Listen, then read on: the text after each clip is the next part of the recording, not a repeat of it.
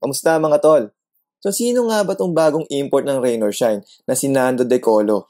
Sigurado ako na pamilyar na pamilyar na tayong lahat kung sino siya dahil nakalaban na siya ng Gilas national team natin.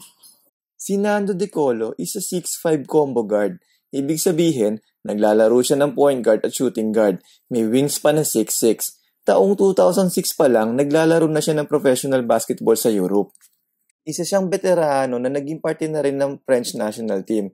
Kamakailan nga lang ay nakita natin siya naglaro kalaban ng Gilas Pilipinas. Naglaro din siya ng tatlong taon sa NBA teams na San Antonio Spurs at Toronto Raptors na nagtala siya ng career averages na 3.8 points, 1.7 assists at 1.8 rebounds per game. At 3-point shooting percentage na 36.3%. Pinakamataas niyang 3-point percentage sa NBA career niya ay 38%. Napakataas niyan kahit sa NBA standards. Isang matinding sniper sa labas itong mamang ito. Para patunayan niyan, ang 3-point shooting percentages niya sa Europe sa mga nagdaang taon ay 47%, 46%, 43%, 49% at 43%. Kamag-anak ata ni Kay itong mamang to. Four times siya naging All EuroLeague selection at noong 2016 ay tinanghal siya bilang EuroLeague MVP at Final Four MVP at All Euro Player of the Year. Isa yan sa pinakamataas na award sa Eurobasket.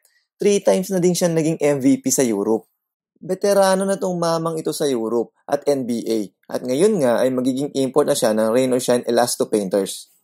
So ano nga ba ang stress nitong ni Nando De Colo? Si Nando De Colo ay ang reincarnation ni Alan K. Dick sa Europe. Hindi pwedeng pabayaan sa labas ang mamang ito dahil para ka nagtampo sa bigas pag iniwan mo siya. Ilista mo na kaagad kahit hindi pa niya natitira. Ang pinakamatinding asset niya ay ang kanyang outside shooting. Ilang beses ko din napanood itong mamang ito sa NBA at kahit pa sa PlayStation, ay eh talagang outside sniper ang attributes niya. Sobrang simple nitong maglaro na akala mo hindi marunong maglaro pag tinignan mo kung gumalaw.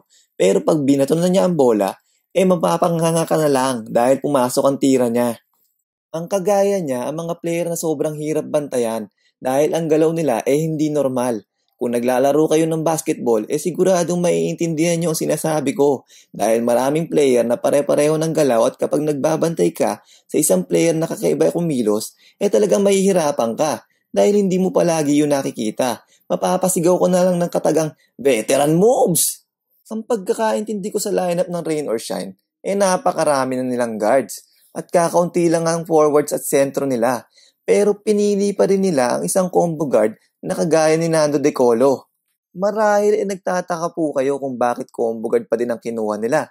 Sa akin pong palagay, yan po ay marahil na si Nando De Colo ay isang veterano na kayang ilid ang isang team at ang Reynolds kasi, eh ang tema nila sa team nila ay teamwork. At perfect dyan si Nando De Colo. Dahil sa Europe, eh talagang mabilis ang pasahan ng bola. At talagang sumusunod sila sa place.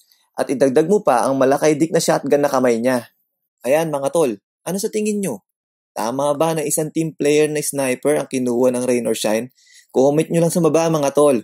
O siya, kita-kits tayo uli hanggang sa susunod na chismis. Salamat mga tol.